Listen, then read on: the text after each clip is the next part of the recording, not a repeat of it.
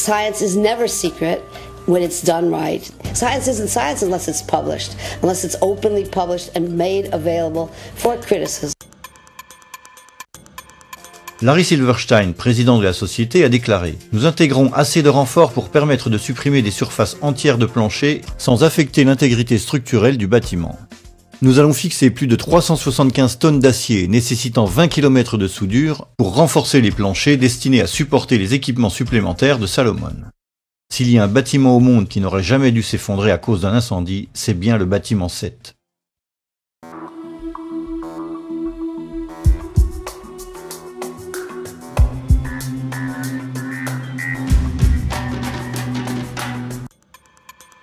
Après la publication de son rapport sur les tours jumelles, le NIST s'est attaqué à l'explication de l'effondrement du bâtiment 7. La tâche n'était pas facile. Contrairement aux tours jumelles, le bâtiment 7 n'avait pas été percuté par un avion. Il n'était que très peu endommagé par les débris de la tour nord et les incendies étaient tout sauf dévastateurs. Rien ne pouvait laisser prévoir son effondrement. De plus, l'effondrement ressemblait à s'y méprendre à une démolition contrôlée, avec son déclenchement parfait, son accélération rapide vers le sol, la chute symétrique de sa structure et même son déclenchement par la base, comme la plupart des démolitions contrôlées. Des professionnels de la démolition contrôlée qui ont donné leur avis, comme le Hollandais Danny Jowenko, semblent certains de ce qui s'est passé. Dit is controlled demolition. Zeker weten. Zeker weten. Er is nagesprongen. Dit is in opdracht gebeurd. Dit heeft een team gedaan van experts. We weten heel goed wat ze doen, die jongens. Zie je vanaf boven gaan? Nee, je gaat vanaf onder. Die gaat vanaf onder, ja. Toch? Ja. Ze hebben gewoon kolommen weggeblazen. Er is nagesprongen. Certains animateurs télé célèbres ont fait les mêmes commentaires en regardant les images de l'effondrement. It's reminiscent of those pictures we've all seen too much on television before when a building was deliberately destroyed by well-placed dynamite to knock it down. Pour réussir à réfuter ce qui semblait si évident, le NIST fut obligé de recourir à une première mondiale, du jamais vu. New York City, 2001. No tall building had ever collapsed primarily due to fire. But that's exactly what investigators believe happened to the 47-story World Trade Center Building 7 on September 11th. World Trade Center 7 collapsed because of fires. We really have a new kind of progressive collapse that we have discovered here, which is a fire-induced progressive collapse. D'après le NIST, l'effondrement fut provoqué par la rupture d'une colonne bien spécifique, la colonne 79 située dans la partie nord-est du bâtiment. So you look at the uh, floors failing here, and eventually this column 79 is going to buckle, it fails, and then the entire vertical progression takes place. Le NIST imputa l'effondrement à un phénomène d'expansion thermique, une grande première dans l'histoire. Our study has identified thermal expansion as a new phenomenon that can cause the collapse of a structure.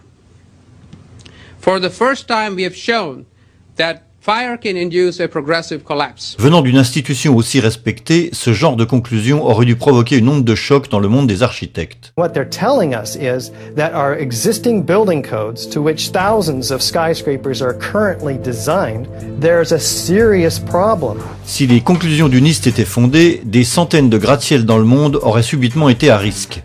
Un incendie pouvait menacer leur intégrité. Tous les chantiers en cours auraient dû être stoppés et expertisés, les codes et règlements de sécurité auraient dû être révisés en profondeur pour toutes les constructions futures. Rien de tout ceci ne s'est produit.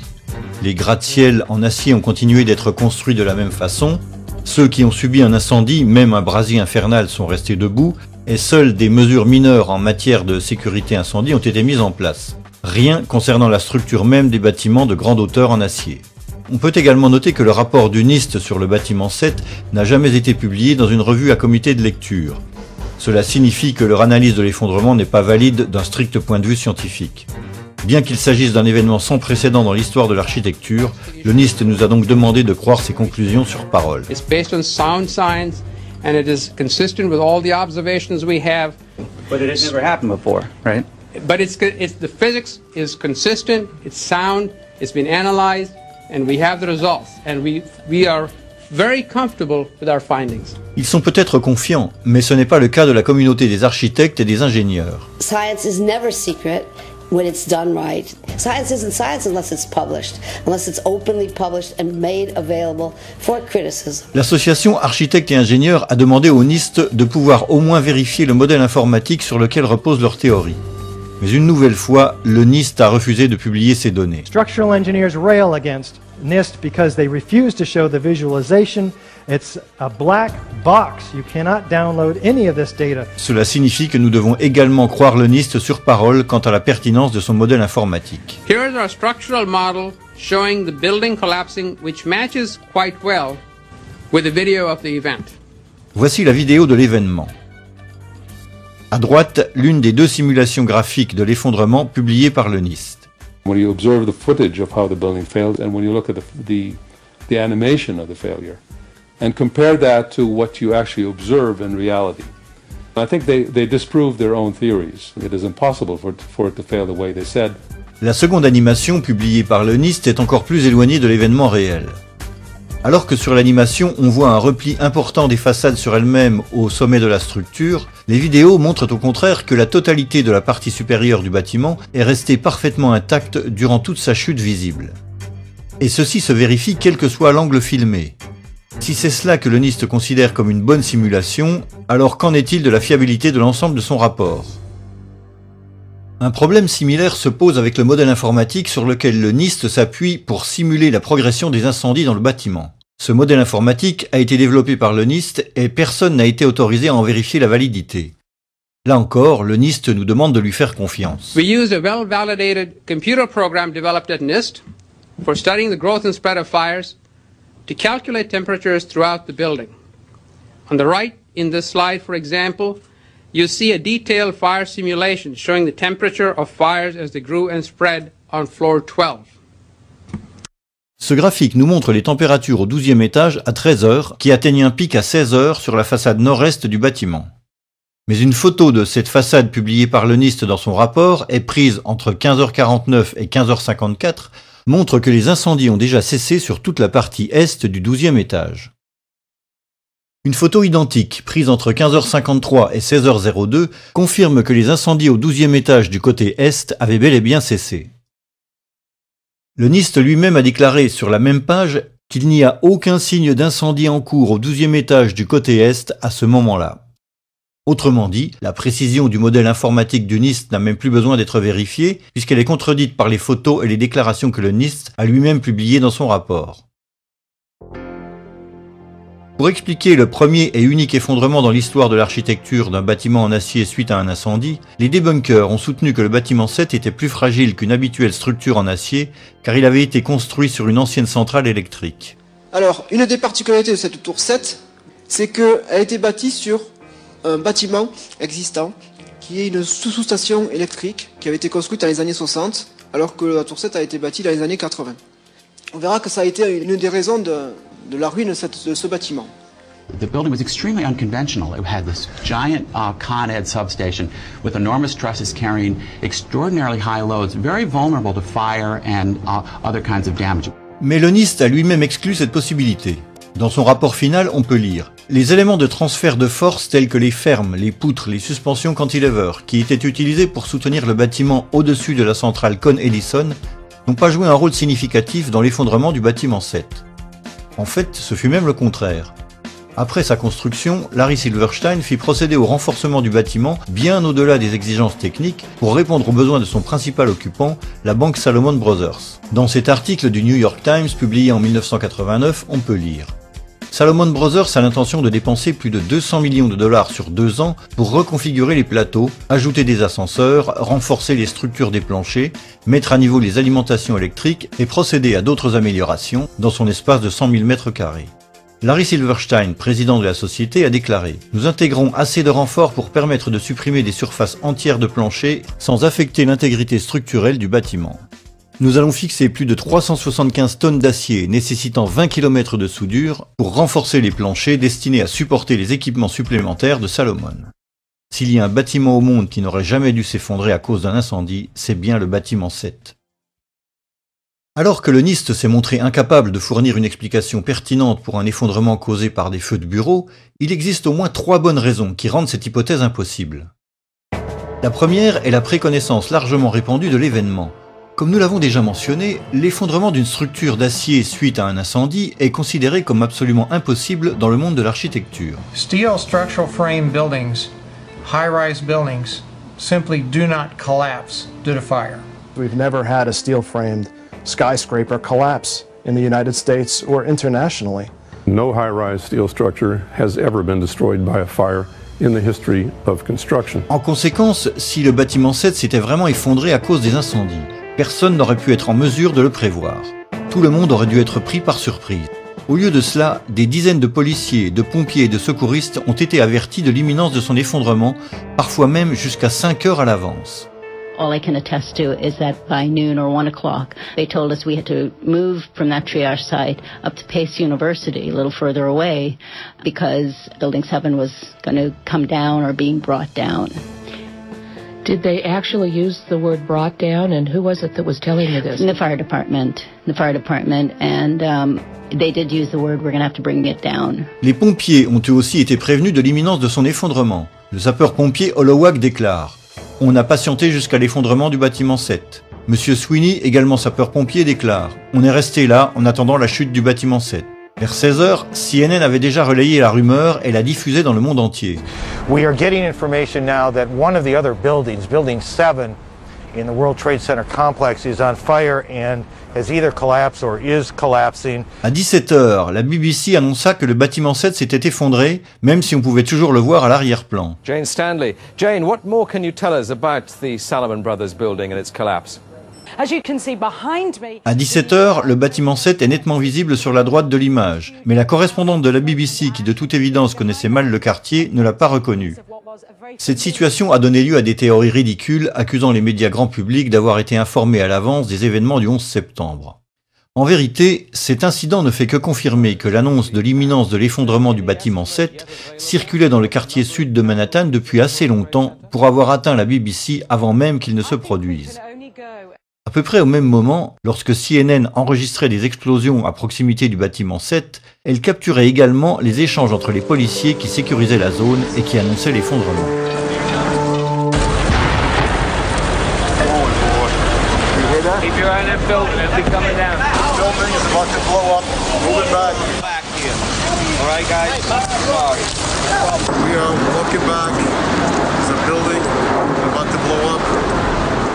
Voici le témoignage d'un infirmier qui a assisté à l'effondrement.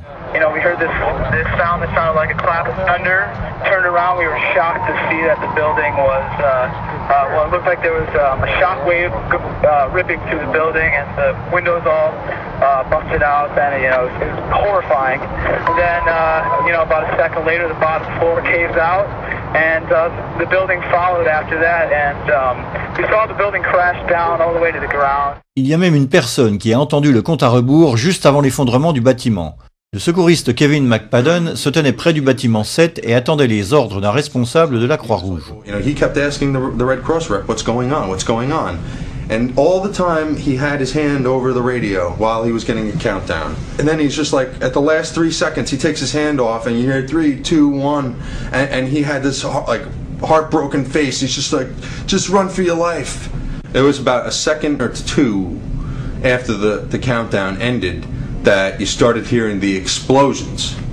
Explosions. Now, we're talking about bombs. Because, you know, you get that like, ba bam! You know, there's like a little explosion and then the force. And then boom, boom, boom, boom, boom, boom, boom. That was the building coming down. Pouvez-vous expliquer comment un tel événement sans précédent et totalement inattendu a pu être prédit avec la précision d'un compte à rebours? La deuxième raison qui rend la version officielle du NIST intenable est la symétrie de l'effondrement. Comme nous l'avons vu, toute la partie supérieure du bâtiment s'écroule d'un seul bloc en maintenant une symétrie presque parfaite tout au long de la descente. The symmetry is the smoking gun. It cannot happen that when you have asymmetric damage, you will get a perfectly symmetrical collapse. And all you need to do is look at the videos and see that. The exterior columns on the outside, as well as on the inside, at the bottom would have to be severed almost at the same time.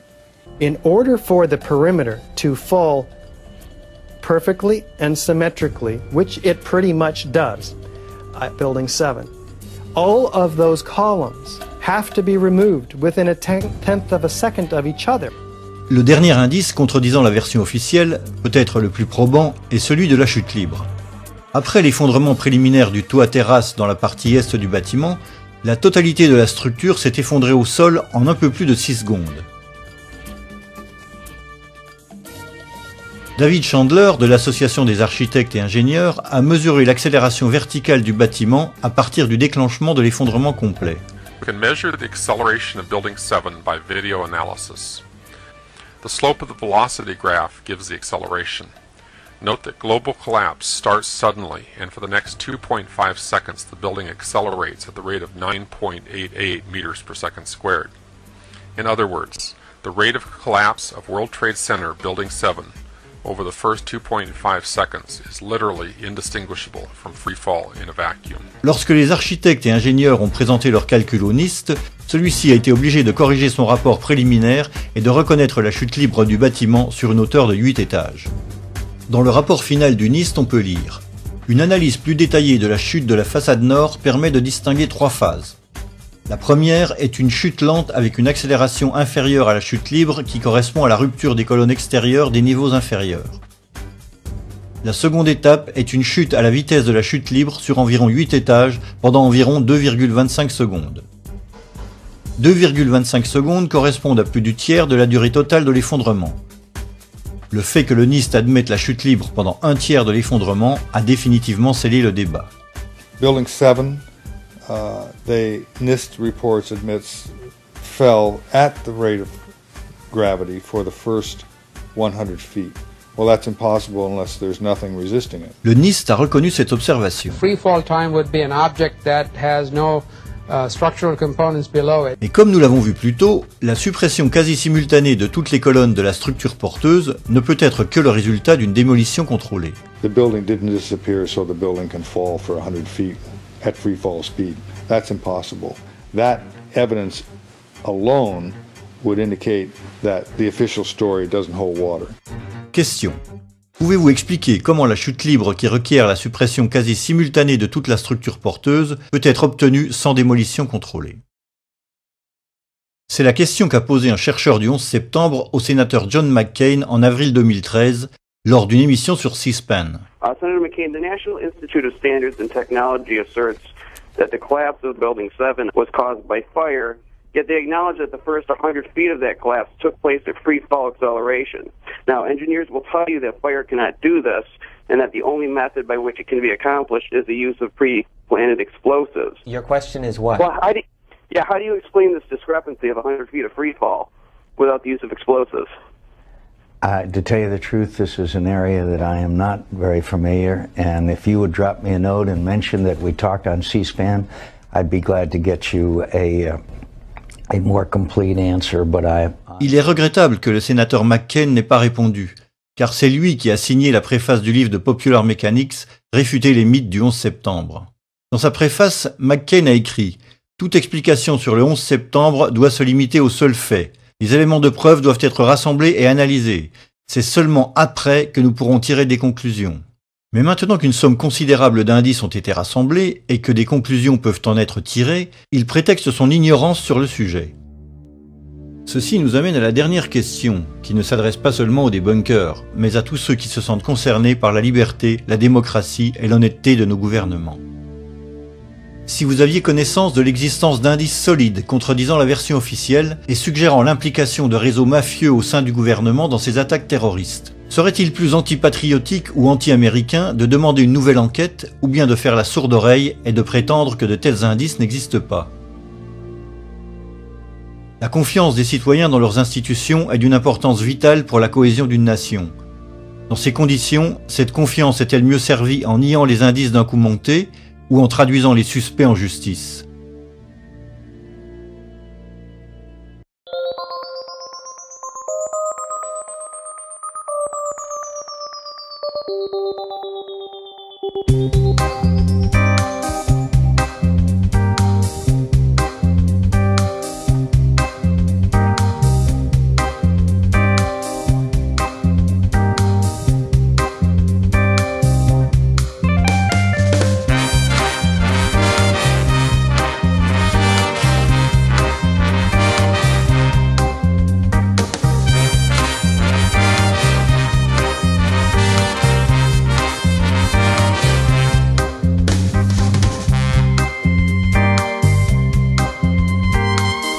Un bâtiment au monde qui n'aurait jamais dû s'effondrer à cause d'un incendie, c'est bien le bâtiment 7.